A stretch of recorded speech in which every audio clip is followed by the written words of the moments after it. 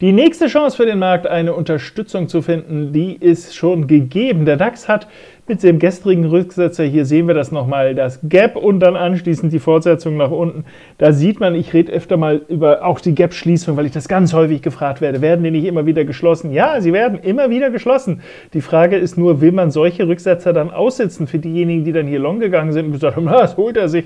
Die sind zumindest jetzt mal am Schwitzen. Zumindest gibt es eine gewisse Chance, dass der Kurs jetzt hier eine Unterstützung findet aus dem Trendkanalverhalten, was wir hier haben. Wir sehen, oben passt es hervorragend. Wir können es fast auf Tages Tagesbasis noch besser sehen. Also hier oben passt das relativ gut. Hier unten würde es passen. Wir haben zusätzlich hier so ein bisschen eine Cluster-Situation aus verschiedenen Fibonaccis, auch wenn die nicht ganz super eng zusammenliegen, wie ich das am liebsten habe. Aber zumindest kann man sagen, ja, meine Güte, dann gönnen wir dem Markt hier die Unterstützung. Das ist zumindest mal denkbar. Ob es der Markt dann wirklich aufgreift, das werden wir sehen. Das ist übrigens auch ein Thema in Amerika.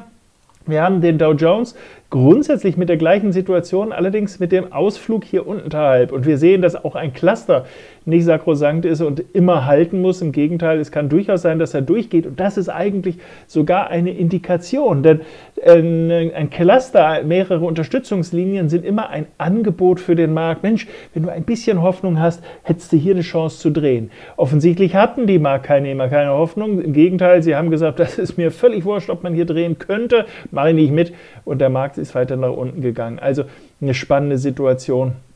Ähm, wie das hier ausgeht. Trotz alledem, da ist die Hoffnung noch nicht gänzlich verloren. Wir sehen zum Beispiel beim S&P, dass da das Bild noch relativ gut aussieht und deshalb denke ich mal, sollten wir uns überlegen, ob man da nicht was draus machen kann und ich denke, das ist ein Trade des Tages wert. Also man kann es hier schon ein bisschen erahnen, aber wer die genauen Ideen haben möchte mit unseren exakten Ein- und Ausstiegsdaten, wie wir stoppen, wo wir unsere Ziele sehen, der guckt sich den Trade des Tages an, einfach dort anmelden, es ist kostenfrei und kriegt die Informationen Information da geliefert. In diesem Sinne, äh, an dieser Stelle jetzt erstmal viel Hoffnung, aber wenig äh, Beweis. Das wird der Markt uns noch schuldig bleiben. Die Chance ist allerdings gegeben, dass da sich was draus entwickeln lässt. Drücken wir mal die Daumen, dass der Markt uns die Chance auch präsentiert. In diesem Sinne alles Gute und liebe Grüße.